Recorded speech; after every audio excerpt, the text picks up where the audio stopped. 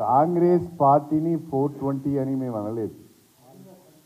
వాళ్ళు చూసుకున్నారో లేదో లెక్క పెట్టుకున్నారో లేదో మాకు తెలియదు కానీ ఆరు గ్యారంటీలు ఆరు గ్యారంటీలు ఆరు గ్యారంటీలు అని ఊకదంపుడు ఉపన్యాసం చెప్పారు కానీ వాళ్ళు ఇచ్చిన ఆరు గ్యారంటీలు ప్లస్ ఎన్నికల సందర్భంలో వాళ్ళు ప్రకటించిన ప్రచురించిన అభయాస్తం అనే మేనిఫెస్టోలో ఉన్న హామీలన్నీ కూడా మేము లెక్క పెడితే మొత్తము వివరంగా చూస్తే అవి చార్ సౌ బీస్ ఉన్నాయి.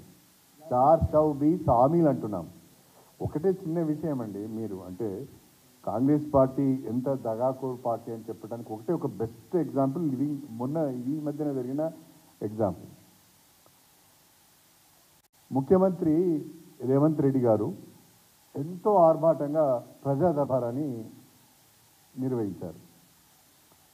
ప్రగతి భవన్ గేట్లు ఎప్పుడు తెరిచే ఉంటాయి ప్రతిరోజు ప్రజా దర్బార్ జరుగుతుందని చాలా గొప్పగా ప్రకటించారు. మొదటి రోజు ఒక్కరోజు ప్రజా దర్బార్లో ముఖ్యమంత్రి గారు పాల్గొన్నారు. తర్వాత రెండు రోజుల్లో మూడు రోజుల్లో మంత్రులు పాల్గొన్నారు. తర్వాత కొంతమంది సీనియర్ అధికారులు పాల్గొన్నారు. ఇప్పుడు ఎవరైనా పట్టించుకుంటున్నారండి ప్రజా దర్బార్? ఈ ప్రజా దర్బార్ అనేది ఈ ప్రజావాణి కార్యక్రమం అనేది జిల్లాలలో జిల్లా కలెక్టర్లు చేస్తున్నారు. ఇది ఎవ్రీ వారం ఎవ్రీ మంత్ కాదు ఎవ్రీ మండే చేస్తున్నారు. ఇది ఆనవాయితీగా అన్ని జిల్లా కేంద్రాలలో కలెక్టర్లు నిర్వహిస్తున్న కార్యక్రమము.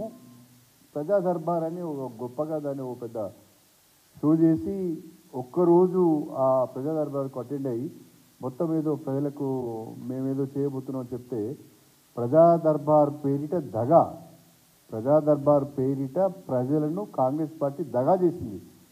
ఈరోజు ఆ ప్రజా దర్బార్ లేదు ఆ ప్రజా దర్బార్లో ఎన్ని విజ్ఞప్తులు వచ్చినాయి ఎన్ని పరిష్కారమైనాయి అనే దానికి కూడా సమాచారం లేదు. ఈ- ఈ రకంగా కాంగ్రెస్ పార్టీకి ప్రజలను మోసం చేయడం ఒక అలవాటు దాని నైజం అది. ప్రజలు తెలుసుకుంటారు.